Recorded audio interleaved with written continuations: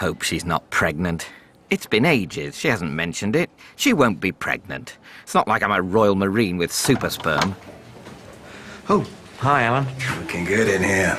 I've got a 32 inch plasma in mine.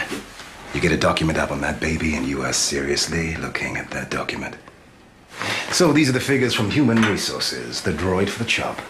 Sophie's the lowest ranked by far, so. Sophie?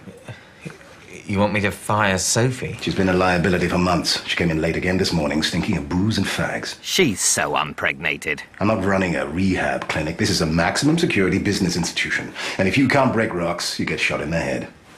Do your duty, Corrigan. Chapman, Corrigan.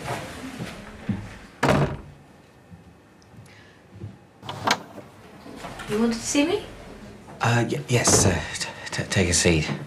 Oh, fuck. Oh, fuck. Oh, fuck. Uh, yes, there's, there's something I want. Well, I, I, I don't want, but I, I've got to tell you. Yes, and I've actually, uh, I've got some news. Big news. Oh, yes? Please don't say you're pregnant. Please don't say you're pregnant. I'm pregnant. Fuck! Right. You're pregnant. Of course. I did three home tests last night and they were all positive. Right, only three. Look, I, I know neither of us planned this, but it's happened, and I want a baby. So, what was your news? Well, uh, have, have you ever considered, you know, redundancy? Uh, voluntary redundancy? No. Have you ever considered involuntary redundancy? You're firing me. Well, no, I, I mean, I've, I've been asked to fire you, but that doesn't necessarily mean. Oh, great, yeah, that's perfect. It's just what I need. I've just found out I'm pregnant now. I'm losing my fucking job. Oh, Mark, I don't think I'm going to be able to cope with this. Oh, fiddlesticks. Of course, I'm having a baby. Great. I'll, I'll probably drop it, or it'll grow up and write a bitter memoir about how distant I was. Sorry. L- look, Sophie, I'm, I'm, I'm not going to fire you. Uh, we'll, we'll sort something out. I'll, I'll fire someone else. Paul, he, he's a pain in the ass. That'd be nice.